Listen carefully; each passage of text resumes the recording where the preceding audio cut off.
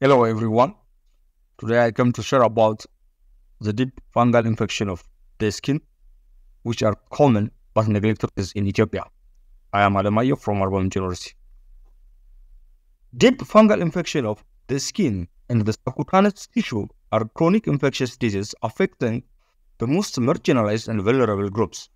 Because of fulfilling the criteria, the World Health Organization has included those diseases into the neglected tropical diseases. Even though Ethiopia is under the mycetoma belt, there is lack of evidence regarding the burden and the geographical distribution of the disease in the country.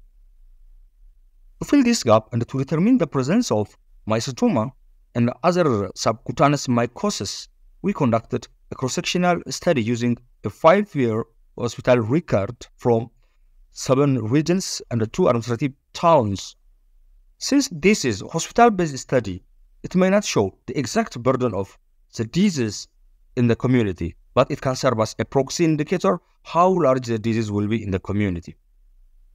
We extracted 143 cases from the 13 hospitals, and almost the disease was recorded in all regions, and majority of the cases were reported in the northern part of Ethiopia in the Tigray and Amhara region, and the disease mainly affected the economically productive age group and the farmers. When we see the presentation of the disease, the majority of the cases were mycetoma followed by chromoblastomycosis.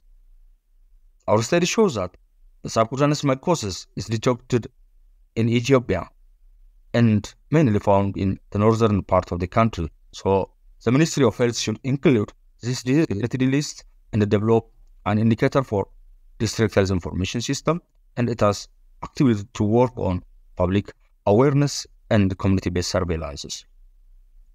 The majority of the cases were diagnosed clinically, so this implies the need for standardizing the diagnostic procedures and equipping the healthcare facilities. If we take home message, the subcutaneous fungal infection is common in Ethiopia.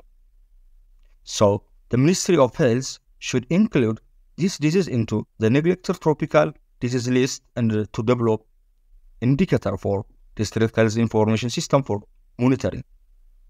The World Health Organization should put Ethiopia on the mycetoma map and community-based surveillance, especially on the Tigray and Amhara region is needed.